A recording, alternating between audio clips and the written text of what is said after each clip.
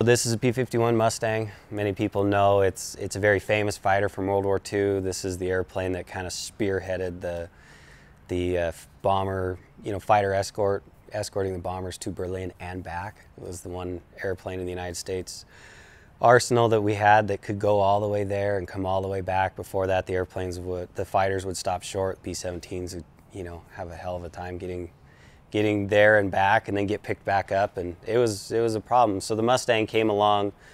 Um, it was it was originally uh, designed for the british.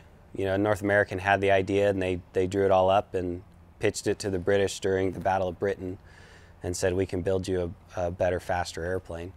And uh, so the british were the first customer for the airplane and and uh, america looked at it and went hey you know this is pretty cool. We might give this a try. And and the rest is history. So very famous American airplane. Yep, we restore to fly, and you know it takes some time, and and uh, but when they're all done and you get to to buckle up and taxi out and go fly it for the first time, it's pretty special.